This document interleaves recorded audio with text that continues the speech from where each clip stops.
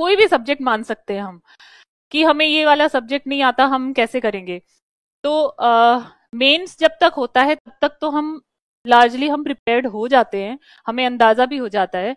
Pre में आपको ये सब चीज़ें बहुत ज़्यादा सोचने की ज़रूरत नहीं है। जितना मैंने देखा है 40 प्रतिशत अगर आपके नंबर प्री में आते हैं एवरेज जो हम देखते हैं पिछले एग्ज़ाम्स के बारे में 40 प्रतिशत में आप प्री क्वालिफाई कर जाते हो। तो उससे ज़्यादा प्री का लोड लेने की ज़रूरत नहीं होती है। ठीक है? तो अगर आप, कुल मिला के अगर आपके चार पाँच सब्जेक्ट भी ऐसे हैं जिन पे आपको कमांड है, उसके साथ में आपको जब यहाँ पे करवाएँगे तो इकोनॉमिक सर्वे और करंट वगैरह की क्लासेस लगेगी तो उतने भर में आपका प्री क्लियर हो जाएगा। जो भी सीरियस स्टूडेंट्स हैं, उन सब का प्री क्लियर हो जाता है। ठीक है? अगर आपने एक चीज़ ज़रूरी है हाँ इसमें मैं ये बताना चाहूँगी कि आपको पेपर की प्रैक्टिस करना ज़रूरी होती है प्री की।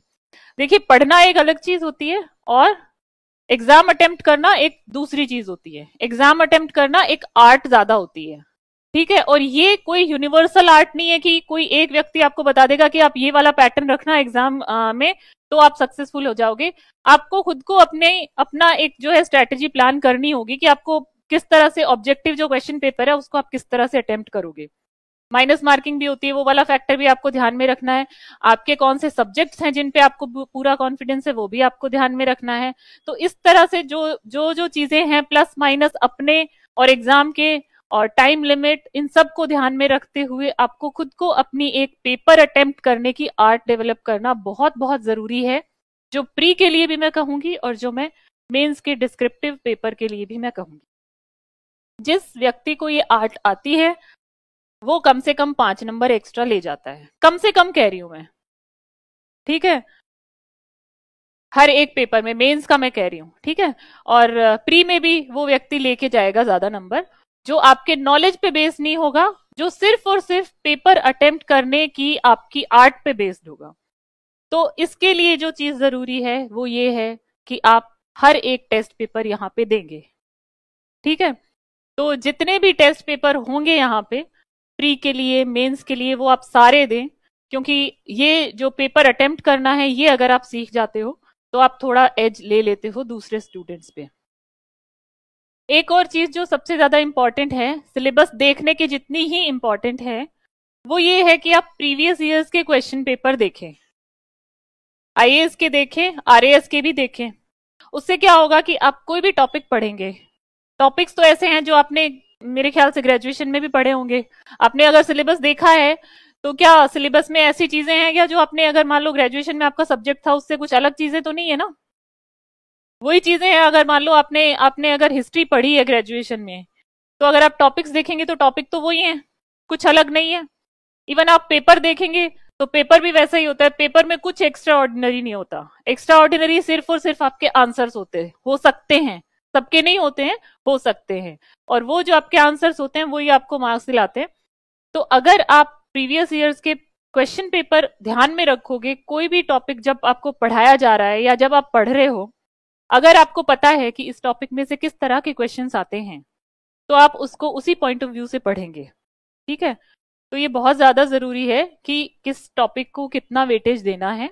और वो टॉपिक पढ़ते हुए आपको ये पता होना चाहिए कि इस टॉपिक में से इस तरह के प्रश्न पूछे जाते हैं। तो ये सब चीज़ें आपको ध्यान में रखनी बहुत ज़्यादा ज़रूरी है। एक जो सबसे ज़्यादा इंपॉर्टेंट चीज़ होती है मेंस के पॉइंट ऑफ़ व्यू से वो होती है आपकी राइटिंग प्रैक्टिस उसको कोई बीट नहीं कर सकता। राइटिंग प्रैक्टिस आपकी होनी चाहिए। आ, क्योंकि फिर से मैं यही कहूँगी कॉम्पिटेटिव एग्ज़ाम है ठीक है? क्वेश्चन पेपर आप देखोगे बहुत ही सिंपल सिंपल क्वेश्चन आते हैं। ऐसा तो कोई अलग क्वेश्चन नहीं आता ना। साठ परसेंट क्वेश्चन ऐसे होते हैं जो सबको आते हैं, चालीस परसेंट क्वेश्चन ऐसे होते हैं जो किसी को भी नहीं आते। यही होता है रियलिटी यही है एग्ज़ाम की। ठीक है? साठ प्रतिशत पेपर सबको आएगा, चालीस प्रतिशत पेपर किसी को नहीं आएगा। एग्ज़ाम से बाहर आके आप किसी से भी पूछेंगे, सब कहेंगे हाँ मैंने ये क्वेश्चन कर दिए हैं, मेरा पेपर ये बहुत अच्छा हुआ है। और जो लोग सब ठीक ठाक है, जो बिल्कुल नहीं पढ़ेंगे, उनकी नहीं कह रही हूँ मैं। लेकिन यही रियलिटी होती है कि साठ प्रतिशत क्वेश्चन सबको आते होते हैं। तो फिर अंतर कैसे आ जाता है इतना? सिर्फ़ और सिर्फ़ आपकी आंसर राइटिंग से आता है अंतर। ठीक है? अब वो आंसर राइटिंग आपकी कैसे डेवलप होगी? आप लगातार प्रैक्टिस करेंगे तब डेवलप होगी। कैसे आपका आंसर है? वो इन्फॉर्मेटिव भी होना चाहिए और उसमें कुछ एक एक्स फैक्टर भी होना चाहिए जो अपील करे एग्जामिनर को। आपको पता है एग्जामिनर कोई भी आंसर नहीं पढ़ते हैं। ठीक है? वो कोई भी आंसर नहीं पढ़ते हैं, क्योंकि वो इतने एक्सपीरियंस होते हैं कि कॉपी चेक करते वक्त अगर किसी आंसर में कुछ पढ़ने लायक नहीं है, वो उनको देखते ही पता चल जाता है। तो आपको अपना आंसर ऐसा बनाना है कि एग्जामिनर उसको पढ़े।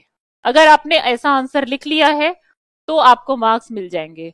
वरना एवरेज एवरेज मार्क्स वो बिना पढ़े जो देते हैं, वही सबको मिलेंगे, उसमें आपका कोई भला नहीं होने वाला है।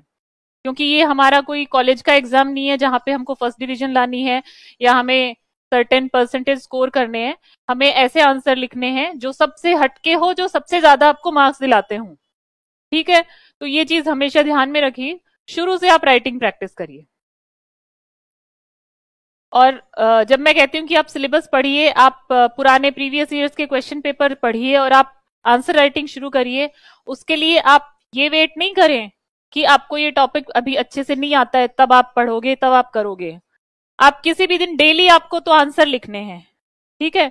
आपको अगर कोई टॉपिक पढ़ा दिया है, आपने पढ़ लिया है तो आप उसमें से करो, नहीं किया है तो आप कोई भी पेपर उठा करके उसको करो। भले ही आप उसके लिए मटेरियल क्वेश्चन पढ़ने के बाद में आप सर्च कर लो, आप बुक में से पढ़ लो या कुछ भी कर लो। पढ़ने के बाद भी आप लिखो। मतलब ऐसा नहीं है, आप भले ओपन बुक रख के लिख लो। ऐसा मैं किस लिए कह रही हूँ? जैसा मैंने बताया पहले कि क्वेश्चन बहुत सिंपल होते हैं और आपको देख के लगेगा कि मैं इसका आंसर लिख दूँगी। ठीक है? लेकिन ये मेरा पर्सनल एक्सपीरियंस है कि जब हम लिखना शुरू करते हैं तो आ, हमें कुछ भी ध्यान नहीं आता। हमारे सेंटेंस ही नहीं फ्रेम होते हैं। और वहाँ पे क्या होता है? आपके पास में आपके पास में पेज की भी लिमिट होती है आपके पास में वर्ड की भी लिमिट होती है और आपके पास टाइम की भी लिमिट होती है। तो अगर आपने प्रैक्टिस नहीं की है तो आपका कोई भी क्वालिटी आंसर नहीं होगा वहाँ पे।